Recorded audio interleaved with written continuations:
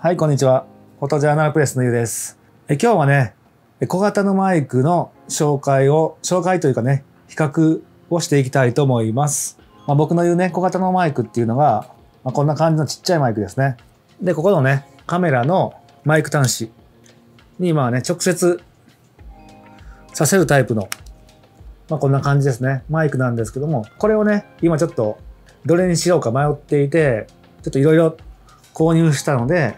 まあそれをね、皆さんにね、シェアしようかなと思っています。で、なぜね、小型のマイクなのかっていうところなんですけども、まあこういったね、あの、ロードのビデオマイクロ、僕も持ってるんですけども、まあ、こういったね、あの、カメラの、まあ要するにこのホットシューですね。こういった感じでね、カメラのホットシューにつけるタイプのマイクなんですけども、まあこういったタイプはね、どうしてもね、こういった線とかが必要になってきます。どうしてもね、ちょっと僕コンパクトに簡単にね、あの Vlog とか撮るときなんかは、やっぱり僕の使う用途としてはちょっと大きく感じるんですね。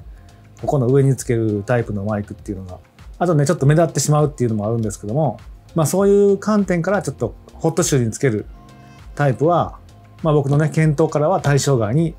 しました。で、僕がね、その小型マイクに求めることなんですけども、まあ一つはね、やっぱり風切り音ですね。やっぱ内蔵マイクっていうのは、まあ ZV-1 は、あの、モフモフが、シールドウィンドが初めからついてるんですけども、まあ他のね、カメラっていうのは、まあマイクむき出しで、やっぱり風がね、吹くとね、やっぱりボーボーボーボー言います。それだったらね、あの、アマゾンとかで売っている、まあモフモフですね。それを、まあつけてもいいんですけども、僕はね、写真も撮るのでね、RX とかになってくると、ここにつけることになるので、ファインダーが使えなくなりますので、まあそれもね、もう僕の中ではちょっと除外しています。こういったね、ミラーレスですね。ミラーレスになってきても、ここのところにモフモフつけないといけないので、まあね、見栄え自体がね、あまり良くないのと、あとちょっと内蔵マイクだと、結構ね、フラットというか、あまり音声が良くないので、ちょっと別の外付けマイクを探しています。で、その中でやっぱり結局、こういったね、小型で直接配線がない、直接させるタイプのマイクを僕は探してまして、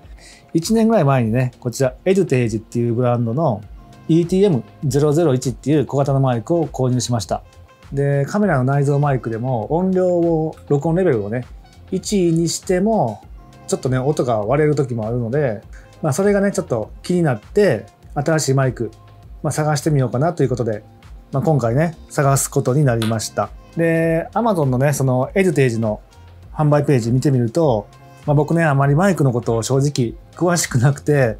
で、これ買ったのが1年前なんですけども、もうその時なんてね、ほんと何も知識なくて、まあ、ただ単にね、小型で、まあ、評価見ても良さそうだったので、まあ、買ってみたんですけども、で、最近ね、ちょっとその Amazon のページのエデュテージの販売ページを見たら、このマイクはね、全指向性 ETM001 ですね。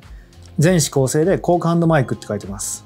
で、オーディオ録音の音量を上げますって書いてました。で、会議とかね、そういったところで向いているというふうに書いてたので、もしかしたらこれね、外で使うようじゃないのかなって思ったりして、それでは他にね、あの、エデュテージでマイクが ETM008 とかね、これですね。単一指向性ですね、こちらは。映像のね、収録に向いているマイクで、まあ、こっちもね、講義やインタビューを録音するボイスレコーダーと連携可能ということなんですけども、まあ、それをね、まあ、単一指向性なので、こっちの方がいいんかなと思って変えました。で、これもね、実は失敗してます。後からちょっとね、音声聞いてもらうんですけども。で、さらにね、ETM009 っていうのもありました。で、これね、ちょっとね、1万円ぐらいするんですね。まあ、付属品が、このね、4000円ぐらいのモフモフ。単品で買うとね、4000円ぐらいするモフモフとかね。まあ、こういったケース。で、こういったね、ラベリアマイクとしても使えるコードもついてきます。これはね、008も同じなんですけども、008はこれが、モフモフがついてないんですけども、まあそのせいかね、モフモフがついてるせいか、こっちはね、1万円ぐらいします。でもこれで絶対いけるだろうと思ったんですけども、まあこれもね、また音声聞いてもらうんですけども、これもダメでした。説明ではね、まあ、風が強い場合、付属の、毛皮のカバーをつけて使用してくださいと書いているので、まあ、絶対ね、風に強いかなと思ったんですね。この高級なモフモフついてるから。またね、ほんと音声聞いてもらいますけども、ダメでした。で、他にはね、こちら、コミカっていうマイク。も購入しました。で、これもダメでした。あダメっていうのは今ね、外で話す時の話ですね。外で Vlog 撮る時の。で、最後ね、こちら、ボヤっていうメーカーですかね。ちょっとね、あの、音声のテストするときにボヤって言ってしまってるんですけども、おそらくボヤですかね。ボヤの by-m100。もう結論から言うと、これが一番良かったです。で、それぞれのね、スペック表、ちょっとね、載せときます。あんまりね、僕このスペックを見てもね、あんまり数字的に何がどうなのかが全然わからないので、あれなんですけども、まあ、後ほどね、ちょっとその音声聞いてもらうんですけども、その結果からね、この数値通りの正しい表記なのかどうかっていうのもまたね、わかる方いたら教えてほしいです。あまりね、この数値、まあ、何を基準にしてるのかがね、ちょっとあの、ホームページとかいろいろ調べたんですけど、あんまりね、わからなかったので、まあもうね、これ使ってみて一番良かったものがこのボヤのマイクだったので、まあ今後ね、これを使うことにします。はい、それではね、ちょっとね、話が長くなりましたけども、まあ実際ね、試してみた音声テストを、ま聞いていただくことにします。で今回のテストは、このね、ここに置いてあるマイク5本と、あとね、まあ、比較としてこのロードのビデオマイクロ。で、今ね、ここにつけているロードのワイヤレス GO ですね。まあ、これをちょっとね、部屋打ちと、まあ、外に行って、まあ、僕は一番気になるね、風切り音がどうなのかっていうのを調べてきました。はい、まずはね、部屋打ちの、まあ、僕の部屋、今撮っている部屋ですね。まあエアコンとか扇風機とかね、消して、まあ、ほぼ無音なんですけど、ちょっとね、冷蔵庫がね、ちょっと近くにあるので、その冷蔵庫の音だけは仕方ないんですけども、僕の部屋としてはちょっと静かな環境で撮ったので、まあよかったらね、ちょっと聞いてみてください。はい、それではどうぞ。はい、α6400 の内蔵マイクです。α6400 の内蔵マイク、音量レベル26で話しています。はい、RX100M7 の内蔵マイクで話しています。RX100M7 の内蔵マイクで話しています。はい、コミカのマイクで話しています。コミカのマイクで話しています。コミカのマイク、音量レベル9で話しています。はい、ボヤのマイク、音量レベル8で話しています。ボヤのマイク、音量レベル8で話しています。ボヤのマイク、音量レベル8で話しています。エルテージ ETM009 で話しています。エルテージ ETM009 音量レベル11で話しています。エルテージ ETM008 音量レベル11で話しています。エルテージ ETM008 音量レベル11で話しています。エルテージ ETM001 音量レベル1で話しています。エルテージ ETM001 音量レベル1で話しています。はい、 RODE の VideoMicro で話しています。 RODE の VideoMicro、音量レベル10で話しています。はい、 RODE のね、 Wireless GO、音量レベル10で話しています。 RODE、Wireless GO、音量レベル10で話しています。はい、エルテージの ETM009 をワイヤレス GO につけて話しています。エルテージ ETM009 をワイヤレス GO につけて話しています。はい、いかがだったでしょうか。まあね、一番最初にこの買ってたエルテージのね、ETM001 なんですけども、やっぱね、これは音量レベルをね、1にしないともう音が本当に割れてしまいます。で、部屋打ちでね、僕が一番マシだったのが、うん、コミカとか、なんか雑音とか拾わないですね。コミカとか、うん、ETM009 とか、まあそのあたりかなと思います。まあこの辺のね、ロードのビデオマイクとか、これ、ワイヤレス GO とかは、まあ、結構ね、優秀だと感じたんですけども、まあ、今回ね、この小型のマイク、比べた感じでは、まあ、その辺が一番ちょっとねこの僕が一番結果的に良かったっていうボヤのマイクはちょっと部屋の中ではなんかね雑音が入ってる感じがしましたもう一回ねちょっと聞いてみるとこんな感じですはい、α6400 の内蔵マイクです。はい、RX100M7 の内蔵マイクで話しています。はい、コミカのマイクで話しています。はい、ボヤのマイク、音量レベル8で話しています。はい、エルテージ ETM009 で話しています。エルテージ ETM008 音量レベル11で話しています。エルテージ ETM001 音量レベル1で話しています。はい、ロードのビデオマイクロで話しています。はい、ロードのね、ワイヤレス GO 音量レベル10で話しています。はい、エルテージの ETM009 をワイヤレス GO につけて話しています。はい。ということでね、次はね、外で試してみました。まあ僕はね、いつもね、よく撮る神戸のね、ハーバーランドですね、海側なので、ちょっとね、風がそこそこ吹く立地なんですけども、まあそこでね、どういう結果だったのかっていうのをちょっと見せたいと思います。で、比較としてね、この RX100M7 の内蔵マイクとかね、先ほどと同じように、と今度はね、ZV-1 も持っていきました。ZV-1 の防風、モフモフなしとありの場合とか、あとね、こういったね、小型マイクの、まあ、この付属のスポンジのままの時と、あとはね、先ほどのこのエデュテージの付属のね、ちょっとね、高級な4000、5000ぐらいするモフモフを、まあ、全部のマイクにつけて試してみました。まあ一部ね、他のちょっとこういったコミカのマイクはね、これサイズが合わなかったので、別のね、ちょっとのモフモフをつけて試したりはしてるんですけども、一応ね、こういったね、防風スポンジの場合と、さらにね、その上からモフモフをつけた場合っていうので、比較しています。はい、それでは、どうぞ。はい、ZV-1 の内蔵マイクで撮っています。ZV-1 の内蔵マイク、モフモフを外して撮っています。はい、ZV-1 にモフモフをつけて音量レベル26で話しています。後ろ側から話しています。はい、今ね、RX や Mark7 の内蔵マイク、音量レベル26デフォルトで話しています。はい、今ね、エルテージの ETM001 をつけて話しています。で、音量レベルはね、1で話しています。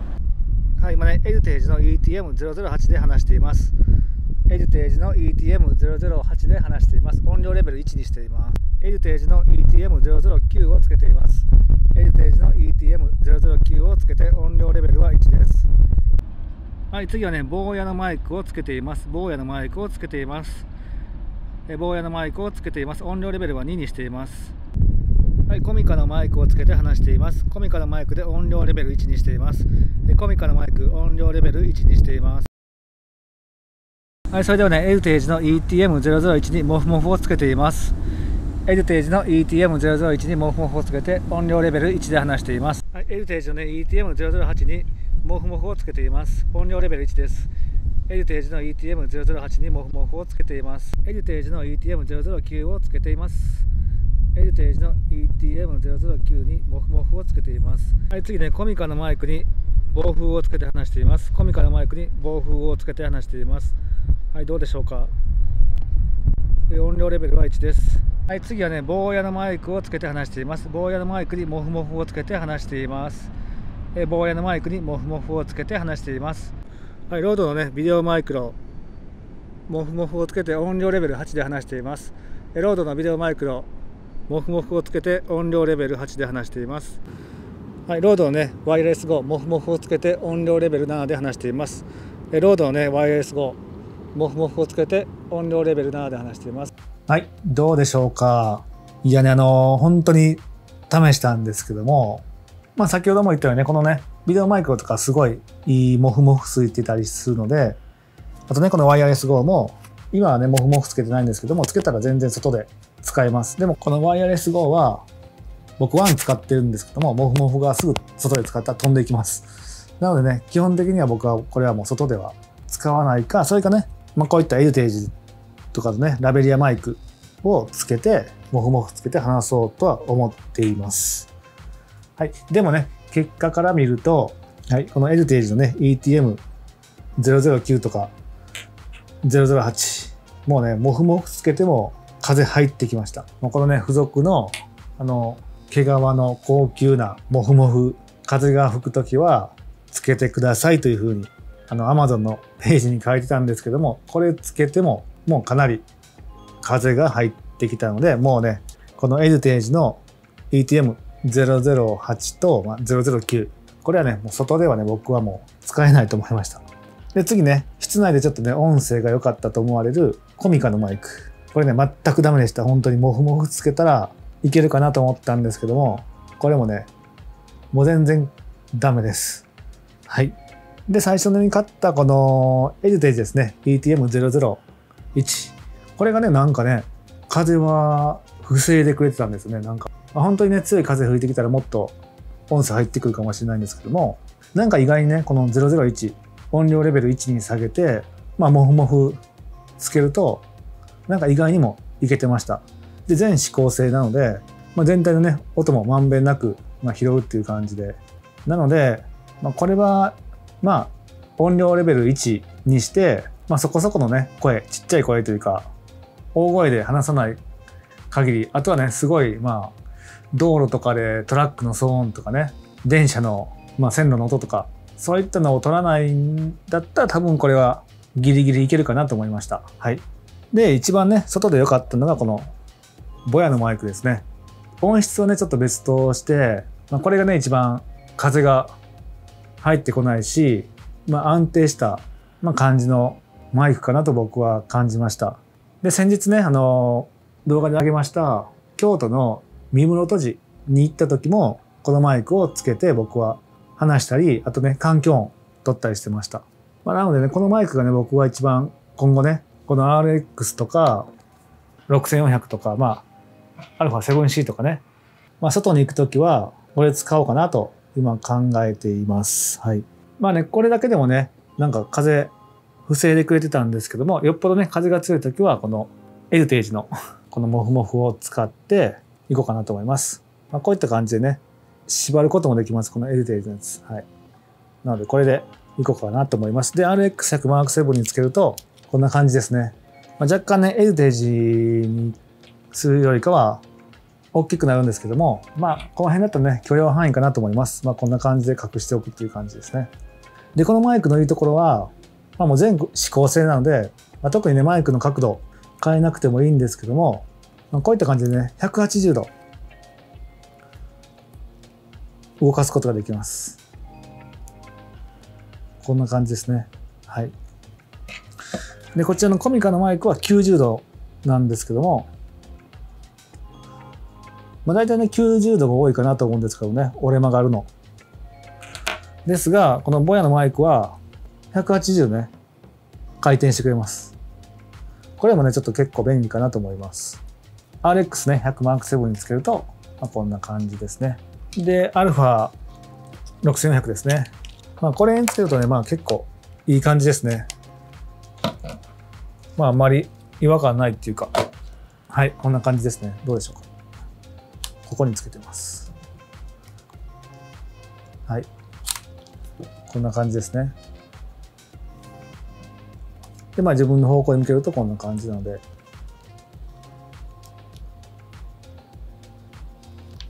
はい。で、一応ね、7C にも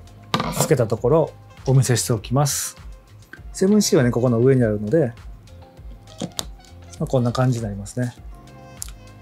はい、つけたとき。で、7C のね、ここのキャップのこの幅が大きいので、あんまりね、こっちに前に行かないです。この、干渉して。まあ、このぐらいですかね。はい。7C につけるとこんな感じです。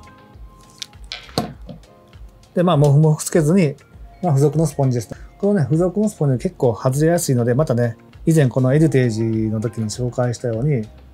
まあ、両面テープかなんかで留めて、その上からね、このモフモフつけてもいいかなと思っています。ということで、こんな感じですね。はい。で、使わないときは、まあ、こんな感じで下に向けておくとかね。まあ、本当に使わなかったら、外しておくとかいう感じですね。まあ、昨日ね、の動画で出したウエストポーチ、そういったやつに、まあ、収納入れておいて、必要な時に、ま、出してつけるっていう感じの使い方もいいかなと思っています。はい、これだったらね、そんなに大きくね、マイクも目立たないので、まあ、ある程度ね、僕の理想の形に近づいたかなと思います。それでなおかつね、まあ、僕がね、そのハーバーランドじゃなくて、海側でね、試した時、結構風強かったんですけども、風の音がね、ほとんど拾ってなかったので、まあこれからはちょっと外で Vlog 撮るときはこのマイク使って撮っていこうかなと思っています。まあ、今回ね、あの ZV-1 も一緒にその外でこれね、あの、モフモフつけて試したんですけども、なんかね、やっぱり ZV-1 のね、モフモフもね、完全にはね、これやっぱり防いでくれないですね。あ、それとね、この ZV-1 のここのバッテリー交換するところのこのプレート、ちょっと新しいの購入しましたので、またね、これ紹介しようかなと思います。はい。ということでね、今回ね、小型のね、マイクね、探しだったんですけども、まあ、結構ね、購入してしまいましたけども、まあ、最終的にはね、このボヤのマイク使っていこうかなと思います。で、家ではね、この今つけているワイヤレス GO で、まあ、YouTube の収録は、まあ、引き続きしていこうと思うんですけども、まあ、このね、エルテージのね、ETM009 ラベリアマイクになりますので、まあ、こういった感じで初めから付属してたので、まあ、まあ、こういった感じでね、マイクにして、今ね、これ ETM009 になってますかね。まあ、これ使ってね、せっかく買ってしまったので、まあ、撮っていこうかなと思います。まあ、使わない時もあるかもしれないんですけども、まあ、これラベリアマイク代わりに使おうかなと思っています。はい。はい。ということでね、今日は、ま、小型のマイク探しも、まあ、一段落ということで、ま、終わりましたので、ま、何かね、問題が起きない限りは、この、ボヤのマイクを使っていきます。まあね、本当にね、僕マイクのこと全然詳しくないので、もう、テストして、まあ、これがいいかなっていう感じで選んだので、またね、なんか僕のテスト撮影とか見ていただいて、まあ、こっちのマイクの方がいいんじゃないかとか、そういったのが、なんかね、ありましたら教えてください。本日の動画は、この辺りで以上にしようと思います。はい、最後までご視聴いただきありがとうございました。それでは。